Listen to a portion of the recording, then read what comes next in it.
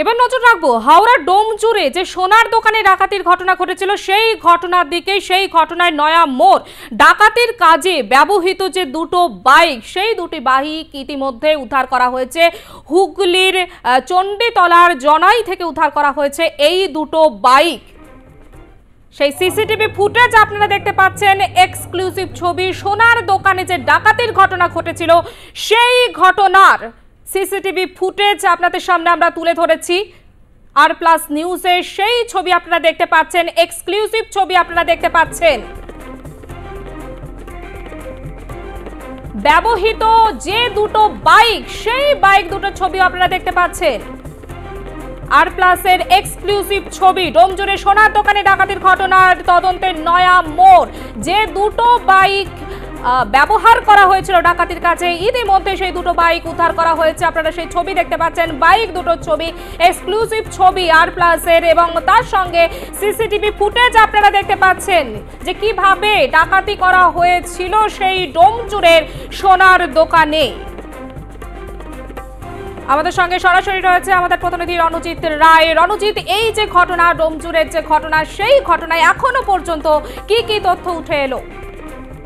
দেখো পারমিতা, গত মঙ্গলবার হাওড়ার ডোমজুড়ে যে সোনার দোকানে দুঃসাহসিক ডাকাতি এবং সেই ডাকাতির সময় চার চারজন তা ডাকাত তারা কিন্তু দুটো মোটর সাইকেলে আসে এবং দুপুর সাড়ে বারোটা নাগাদ আর তারা দোকানের ভেতর প্রবেশ করে এবং সেখানে আগ্নেয়াস্ত্র মাথায় ঠেকিয়ে একেবারে চারজন মালিক এবং মালিকের ছেলে সহ আরও দুজন কর্মচারী ছিল। তাদেরকে একেবারে বন্ধক বানিয়ে সেখান থেকে তারা সমস্ত গয়না নিয়ে কিন্তু একেবারে নির্বিকারভাবে তারা কিন্তু ব্যস্ততম এলাকা থেকে তারা চম্পট দেয়।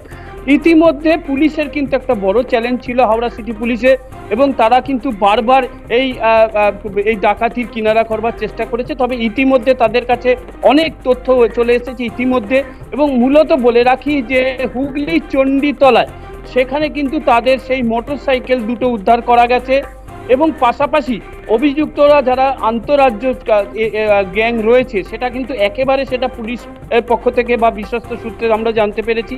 এবং মূলত বারবার যেখানে বলা হচ্ছিল যে হিন্দিতে কথোপকথন চলছিল, সেক্ষেত্রে বলাই যেতে পারে যেটা বিহারের গ্যাং।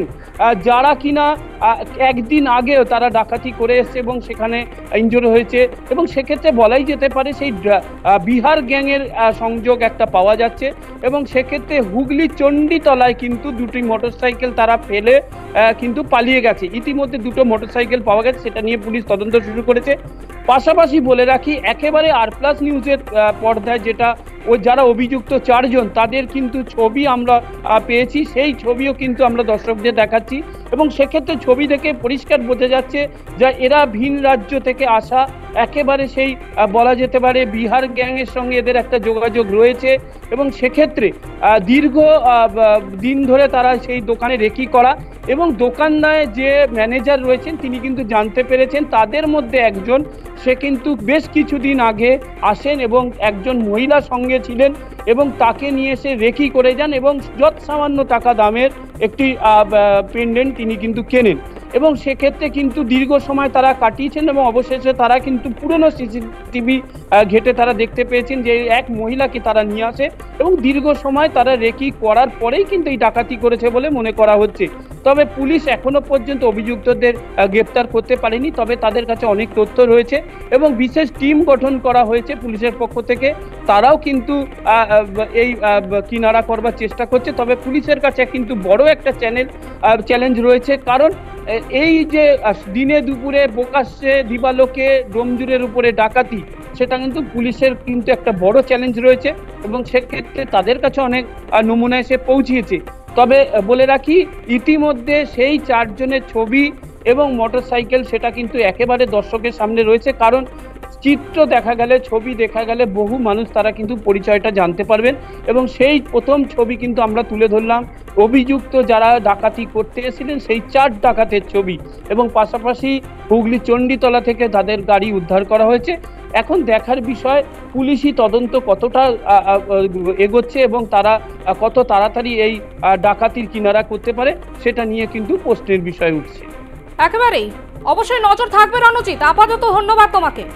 ডোমজুরি যে সোনার দোকানে ডাকাতির ঘটনা সেই ঘটনায় প্রকাশ্যে সিসিটিভি ফুটেজ আপনারা দেখতে পাচ্ছেন আর প্লাসের পর্দায় এক্সক্লুসিভ সেই ছবি। কীভাবে ডাকাতি করা হয়েছিল? তার সঙ্গে যে ডাকাতরা এসেছিল, ডাকাতি করতে তাদের ছবিও কিন্তু দেখা যাচ্ছে সিসিটিভি ফুটেজে। ডোমজুড়ে সোনার দোকানে ডাকাতির ঘটনা, তদন্তের নয়া মোড়। ডাকাতির কাজে ব্যবহৃত দুটো বাইকও ইতিমধ্যে উদ্ধার করা সম্ভব হয়েছে।